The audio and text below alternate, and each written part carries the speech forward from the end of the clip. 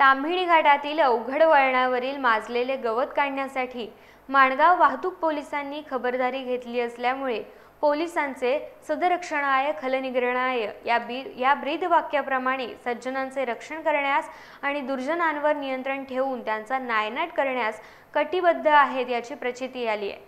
मुंबई पुणेवरून ताम्हिणी मार्गे कोकणामध्ये बारा महिने मोठ्या प्रमाणात पर्यटक येतात.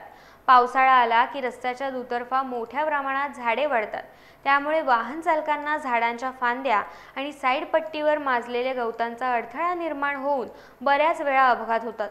याचीच दखल घेत महाड वाहतूक विभागाचे पोलीस निरीक्षक राजेंद्र पाटील यांच्या मार्गदर्शनाखाली वाहतूक पोलीस लालासाहेब वाघमोडे निवास साबळे यांनी घाटातील ही समस्या सामाजिक कार्यकर्ते संतोष पोळेकर यांच्या सहकार्यातून उपलब्ध झालेल्या जेसीबीचा वापर करत घाटातील रस्त्याच्या दुतर्फा वाढलेल्या झाडांच्या फांद्या तसेच साईट पट्टीवरील वाढलेले गवत जेसीबीच्या सहाय्याने काढून तसेच घाटामधील ब्लॅक स्पॉटवर खडी माती टाकून रस्ता वाहतुकीसाठी निर्धोक आणि तसाच सुरक्षित केल्यामुळे अपघाताचे प्रमाण नक्कीच कमी होऊन वाहन चालकांना सुखाचा प्रवास करता येईल.